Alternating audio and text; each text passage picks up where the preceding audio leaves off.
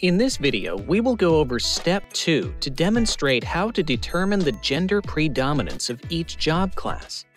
Haifa and Lucian, owners of Upcycled Fashion, are seen in their office discussing Step 2 of the toolkit. Now that we have identified all the job classes in our company, we need to determine a gender for each of those job classes. Why would we have to do that? Because that's the only way you identify and correct gender bias and discrimination in pay. How so? Let me take you back to a moment in history when women's work was undervalued. Before the 1960s, men dominated the workforce. When women finally started joining the workforce, they were clustered in certain areas of work more than others. For example, you may have seen more women working as receptionists, whereas you may have seen more men in mail delivery. Even though both types of work are equally important to the company, the work that is stereotyped as women's work has been historically undervalued and underpaid compared to the work that has been stereotyped as men's work. Believe it or not, this still happens today in the workforce. So, if we don't identify the gender predominance of each job class in our company, we run the risk of perpetuating unconscious bias and undervaluing work that is stereotyped as women's work. Gender determination is not about social values regarding the binary or non binary gender of any individual employee. It is about recognizing and reversing social stereotypes that undervalued work traditionally expected of women. If we want to recognize and reverse the gender bias, we have to start by identifying which classes in our company are male dominated, female dominated, or are genuinely already gender neutral. That makes a lot of sense now. So, how do we determine if a job class is a male or female?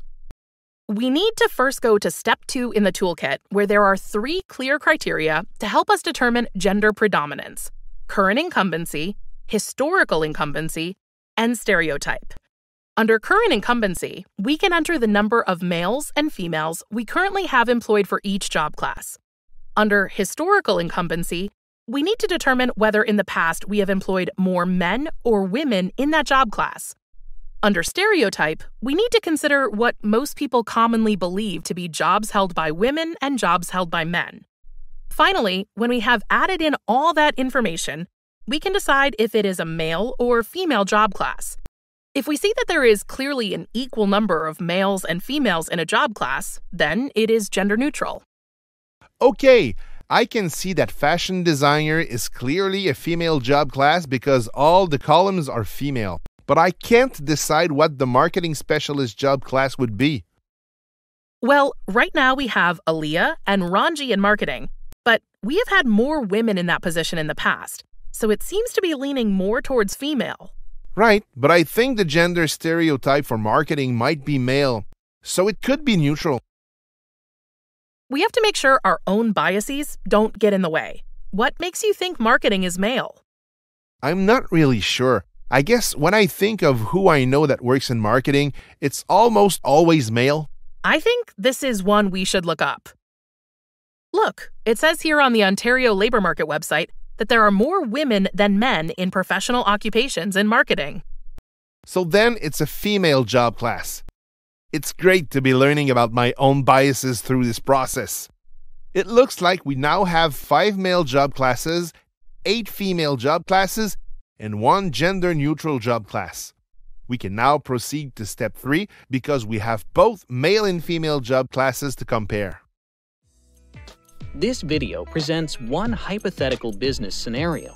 It is for information only and is intended to assist employers in complying with the Pay Equity Act.